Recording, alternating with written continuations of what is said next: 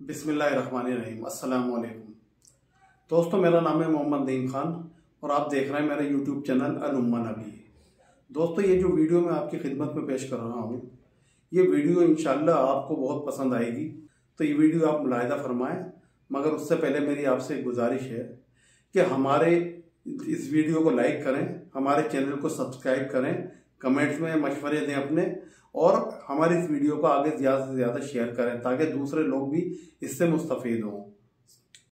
हज़रत आदम सलाम से ज़मीन पर तशरीफ़ लाए तो बारगाह हिलाई में अर्ज़ किया कि या अल्लाह, मैं यहाँ ना तो मलाइका की तस्बी व तकबीर सुन सकता हूँ और ना कोई इबादत गाह देखता हूँ, जैसा कि आसमान में बैतुल मामूर देखता था, जिसके इर्द गिर्द मलाइका तवाफ़ करते थे। जवाब आया कि जाओ, जहाँ हम निशान बताएँ, वहाँ काबा बनाकर उसके इर्द गिर्द तवाफ़ भी कर लो और उसकी तरफ़ नमाज़ भी अदा करो। हज़रत जब्राईल सलाम उनकी रहबरी के लिए उनके साथ चल पड़े और उन्हें वहाँ लाए जहाँ से ज़मीन की तख्लीक हुई थी। यानी जिस जगह झाग पैदा हुआ था और फिर वही झाग फैल कर पूरी ज़मीन बनी।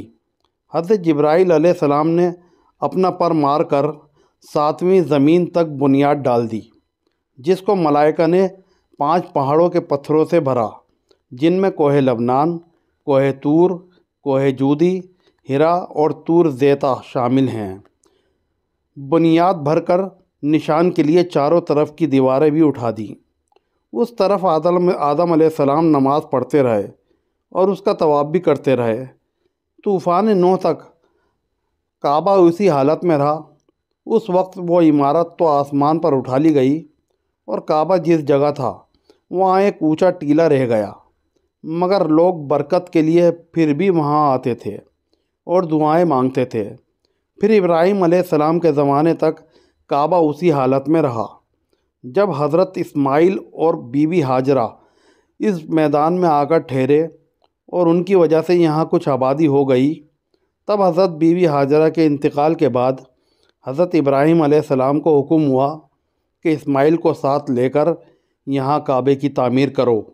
इसकी निशानी इस तरह फरमाई कि एक बादल का टुकड़ा भेजा गया था कि उसके साय से काबा की हद मुकर्र कर ली जाए।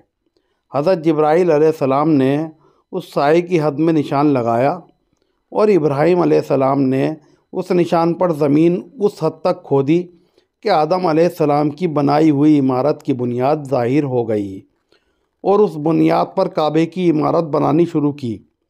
इसकी बुलंदी, उसकी बुलंदी नौ हाथ और रुकन असवद से रुकन शामी तक की दीवार तैंतीस हाथ और रुकन शामी से रुकन गरबी तक की दीवार बाईस हाथ और रुकन गरबी से रुकन यमानी तक इकतीस हाथ, रुकन यमानी से फिर रुकन असवद तक बीस हाथ।